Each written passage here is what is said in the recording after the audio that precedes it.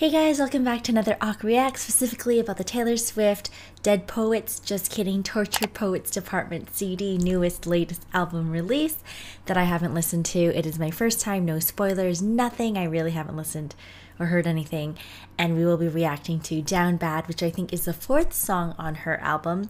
So yeah, here we go. If you guys want to see the other reactions in order, make sure to check out the um, the full album under the Awk Reacts playlist. But all right, let's get started. Down bad. Is this what it means? what it, I think it means? Did you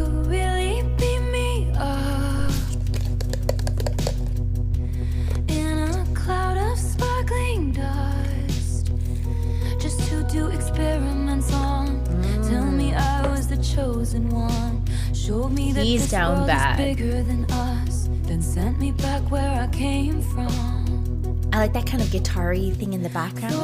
moment, I knew. Okay, I actually just got these new headphones kind of recently, and it's my first time properly listening to music, not during the subathon. And I can really hear the instruments on this side, and I can hear the separation. The sound acoustic thingy is so good on this song. It hit me for this song. I can actually hear them. It's kind of cool. cosmic love. Now Like the echoes here? at the gym. Everything comes out ah. teenage petulance. Fuck it if I can't have him. It's not about her, the guy being down bad in that sense. Bad hawk, bad hawk. she's saying she's down bad being sad. I see. Mm, makes sense. just die, it would make no difference. Down bad, waking up in blood. Staring at the sky, come back and pick me up. Fuck it if I can't have us. Very teenager angst, kind of. Get up, I might stay down bad. Fuck it if I can't have him. I'm just too sad.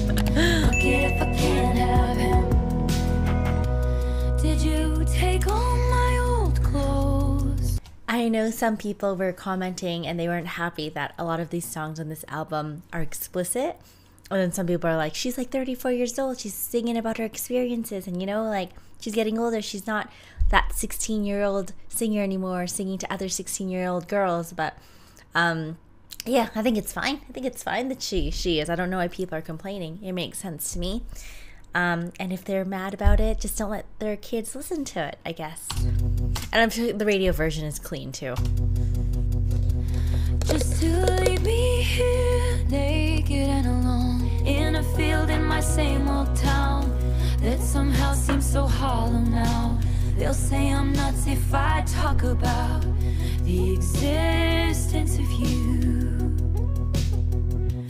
For a hmm. moment, I was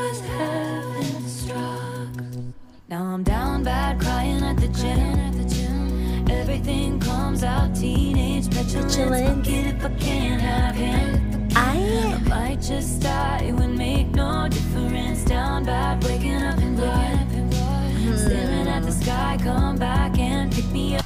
sorry, I keep pausing. It's only halfway. Wow. Okay. it's four and a half. I think a lot of the songs on her album I'm noticing are more than four minutes. They're pretty long. This one, I always say, like, I love the elements, these little elements that make the song in a lot of the ones I've listened to so far. Like the um, little synth sounds and like even the separation here is great, but they're just all a little bit boring. I don't know, they're all a little bit boring, and I can't believe this is only two minutes in. I'm already, I'm already over it. Fuck it if I can't have us. I might just not get up. I might Like, I love that little element of, "Ooh." like Like- twin. Fuck it if I can't have him. Like, Down bad, I love the little elements, but they don't bring me anywhere. Take me somewhere. Bring me somewhere. I loved your hostile takeovers, encounters closer and closer. All your indecent exposures. How dare you say that it's? I'll build you a fort on Like this part? That's super cool. That's all synthy. What is that? Someone put it in the comments below. What is what is that actually called?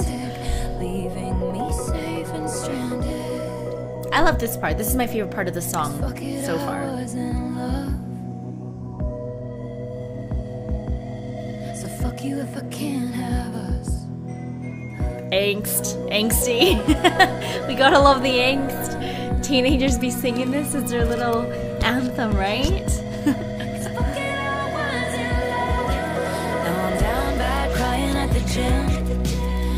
Everything comes out, teenage petulance. Fuck it if I can't have him. I might just die, it would make no difference. Down bad, waking up in blood. Staring at the sky, come back and pick me up. Fuck it if I can't have us. I might just not get up, I might stay down bad. Like I lost my twin. Like, Fuck it if I can't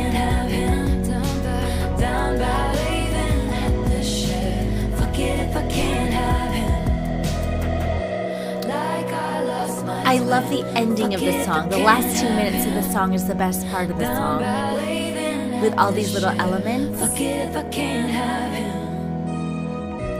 Like, honestly, the other two songs, apart from Fortnight, I've already forgotten what they sound like.